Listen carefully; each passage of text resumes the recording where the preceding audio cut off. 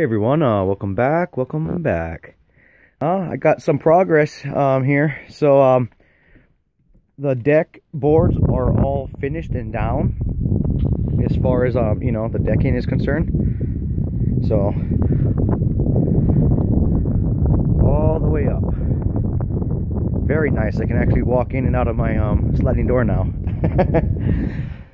so yeah, nice size deck, I have to say. Um, that's exactly eight feet from this wall out eight feet. Um, it's real long though.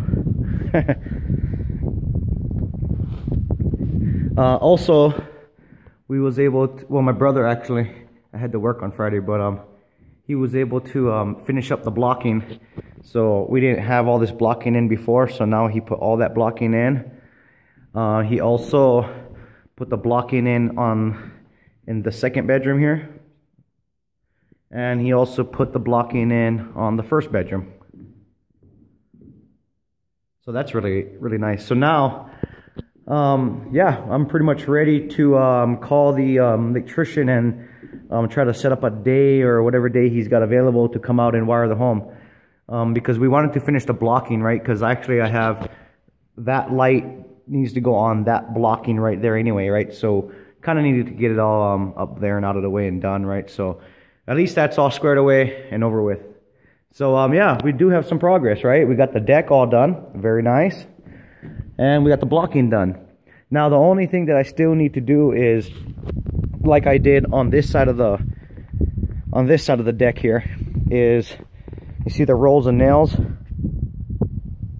right? On this side, what he did was he, you know, every board he put down, he put a nail, you know, here, here, there. So I have to come back and put the second nail in. So every single one's got, you know, there's a second nail I have to put in. So there's like hundreds of nails that's got to be put back in here. Um, but the main thing is it is down. And um, I think maybe tomorrow is going to be Sunday, so I'll go ahead and probably um, finish putting the rest of the nails in so that way it's all nice and secured and nice and tight. And, you know, that project is over with as far as the deck boards is concerned. Now, um, going forward, you guys can see all the scraps that we've been cutting up and using and all that stuff. Got some still good, some good lumber in there, you know, some cutoffs we can still use and stuff or whatever. Um, but I was talking to my brother and um, he said right here you guys can see this is all the trim the trim pieces. So they have to finish painting that. Uh, there's some more trim pieces over there where it's all white. So we have a bunch of trim pieces. So he said that he'll probably go ahead and um put the trim on because we got to put trim around the windows. We still got to peel off all the tape and all the stuff from when we were painting the house right?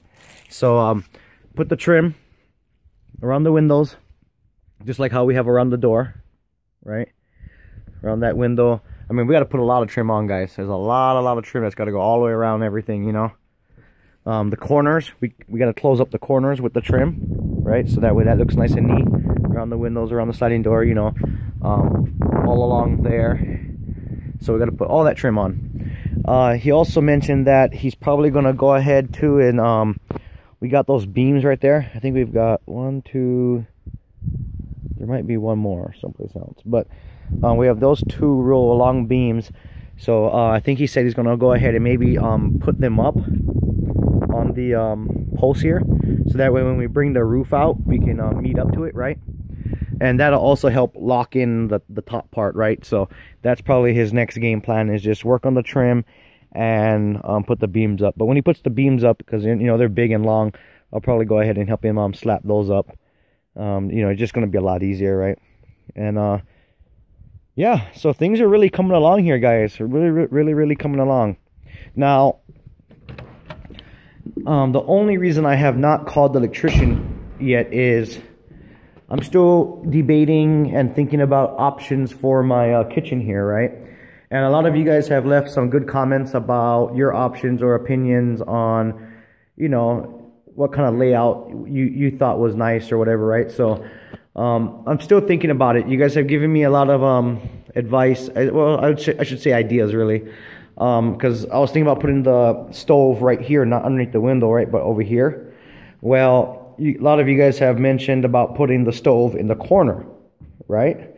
And then just have the countertop come up and meet it. So I'm actually been thinking about that, and I know some of you guys said don't put it in the corner, but um, I mean it's my home, right? So at the end of the day, as long as I'm happy, that's the main thing, right? But I, I kind of, for some reason, I kind of like the idea of having the stove in the corner, guys.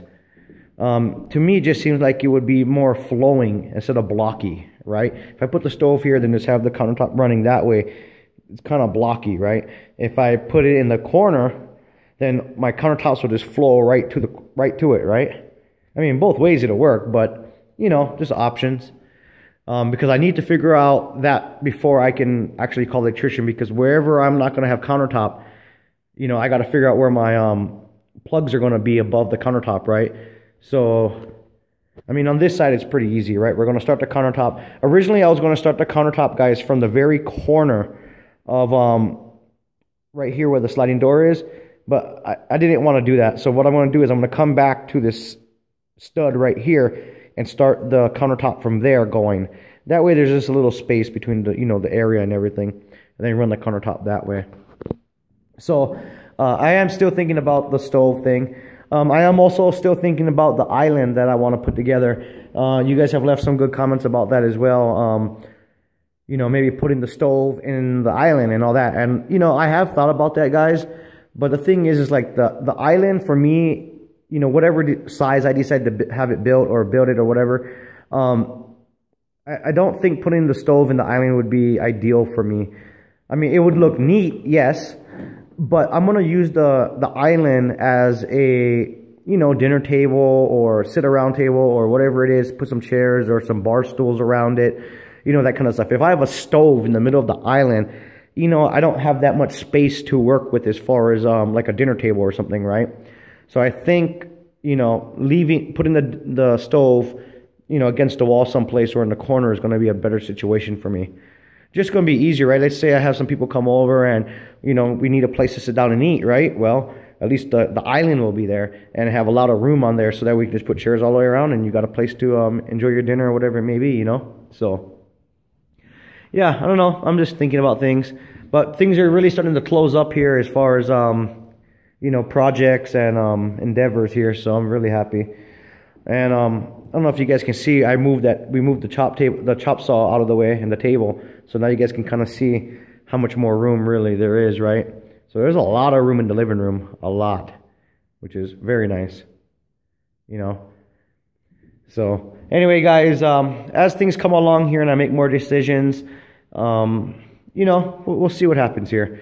I think what I really need to do is find an object or maybe even a box like this, right? That's the same size of the stove. Because me i do better with seeing a like actually seeing visually an item placed somewhere. It really gives me a better idea of wrapping my head around what the finished look's going to look like. So I'm, i think i might have a box that's going to be the same size as the um, stove and i can just put it in the corner and take a step back take a look see how everything's going to flow move it over there move you know just move it around you know and just get a better idea of what i'm looking at really. So I mean, and if I do put the stove in the corner, I mean, I'm going to have a little gap right between the back of the stove and the corner. And I could fill that gap in with something, right? You know, I could put a back, I could still do a backsplash even though it's the corner, right? I can build a little wall here and um, on the back side of the um, stove and put a backsplash of tile or whatever it may be, right? And then countertop, sink, countertop, countertop, refrigerator, countertop. So, yeah, I mean, the only reason I'm kind of thinking about the stove being in the corner now, not only have you guys mentioned it, but, you know, even if I move the stove over away from the window, it's still pretty close to the window, right? So, I mean, it's going to get stuff on it, right? I mean, you cannot control the grease when it starts to, you know, um, pop and everything. It's going to go where it wants to go. So, um, you know, either that or I'm really going to have to just move it over a little bit more to kind of give me more of a gap from the window itself because I really don't want to deal with cleaning that window when you have like gunk on it. Man, that's going to suck, right? So, yeah. Anyway, guys, when I come up with uh, some more progress here and um, some ideas as far as the island is concerned, um, I'll definitely um, put some videos up for you guys and uh, keep you guys up to date. Anyway, guys, thanks for tuning in, and I'll see you guys in the next video.